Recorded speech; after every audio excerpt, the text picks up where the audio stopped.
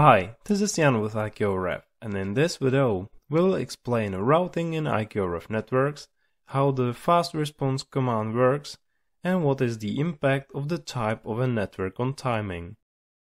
STD network types are faster than STD plus LP network type thanks to the shorter time slot length, but they don't support LP devices. The STD plus LP network type is about two times slower because the LP packet is longer. Types of networks were introduced in the third tutorial for manufacturers, software and settings of IQRF transceivers. The next slide shows how IQRF routing works.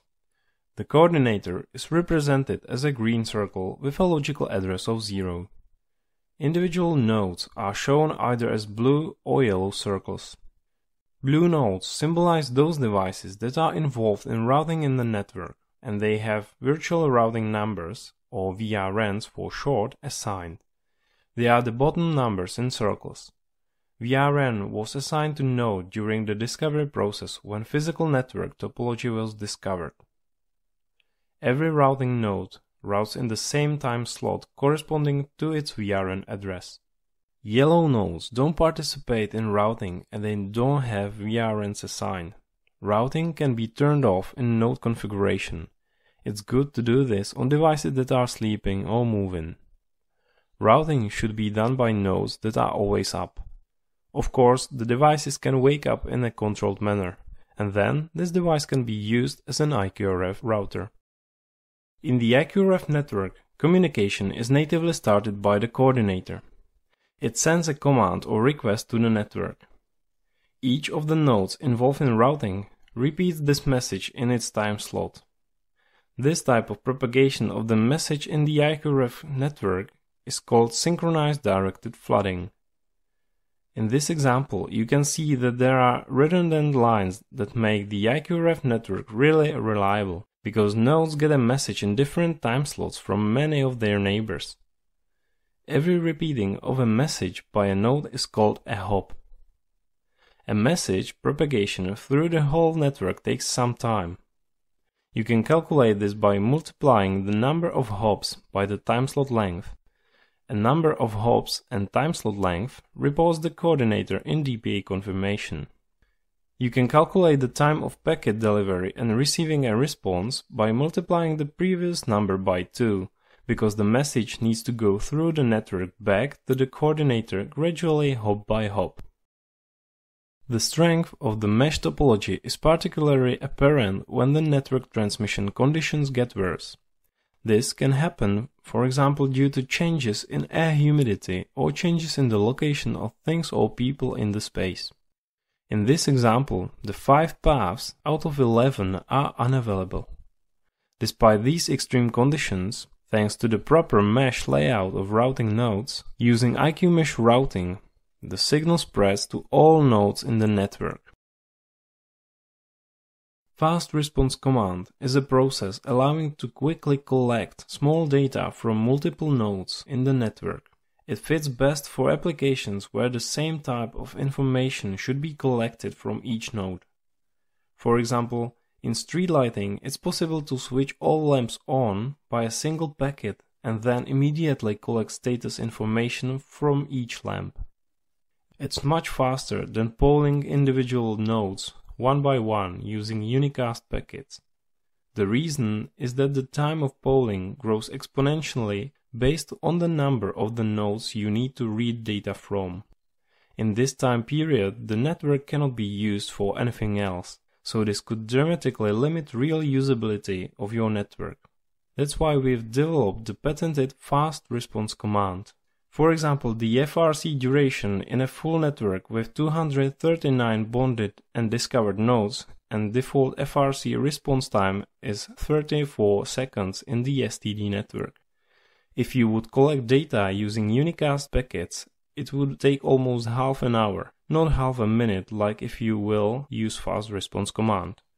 Since the packet can transfer just limited number of bytes, you can send up to 30 bytes of user data to all or selected nodes and collect 2 bits from up to 239 nodes, 1 byte from up to 63 nodes, 2 bytes from up to 31 nodes, and 4 bytes from up to 15 nodes. For your better understanding, here's a visualization of the whole process. There are three phases. The first one is a broadcast of your query or command. Let's say, give me 1 byte temperature. To get data from nodes that are not routers and to have the process more robust, in the second phase, every node sends its data to all neighbors. In the third phase, the last router creates a packet and fills it with all data it has available. In our case, it means data of nodes 1, 2, 5, and 6. The last router sends the packet out. Node number 2 as data of node number 3 and forwards the packet in its time slot. Node number 6 adds data for node number 4 and transmits the packet as well. In this way, we receive data from all nodes. The FRC duration depends on the number of bonded nodes, the number of discovered nodes, and the time needed to serve the command on the node side. It of course depends on the network type. Find details in the documentation. For example, the FRC duration in a full network with 239 bonded and discovered nodes and 40 milliseconds default FRC response time is 34 seconds in STD network type and 46 seconds in STD plus LP network type. There are some predefined fast response commands that you can use right away. One of them is the acknowledge broadcast. This means that when you send this predefined FRC, you get feedback from each node if the DPA request was performed or not. So for example, when you set an acknowledge broadcast command to switch on all lights, you will get feedback which light was and which one wasn't successfully switched on. This helps you to have your broadcast commands fully under control. Another predefined FRC reads the 1 byte temperature from all nodes. Let's show it in IQRF IDE. We use the network with two nodes from the previous video tutorial. In macros, find FRC tab and here find the macro 1 byte temperature. It contains a command for getting the 1 byte temperature from the whole network. Click on it and then send the command. In the terminal log window, double-click the response packet and find details about the temperature in the packet inspector window. Find more details and other embedded FRC commands or details about selective FRC in the IQRF DPA Framework Technical Guide and IQRF OS User Guide.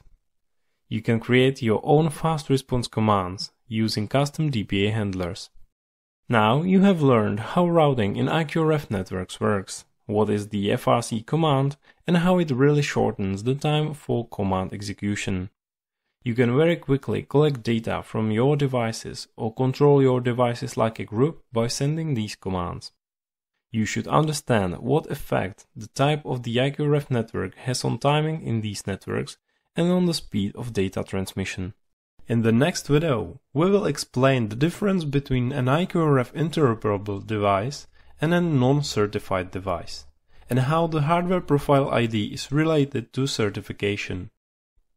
To learn more about the technology, you can browse the IQRF.org or watch other IQRF videos, or find already existing projects on the IQRFalliance.org. Make your products wireless. It's simple.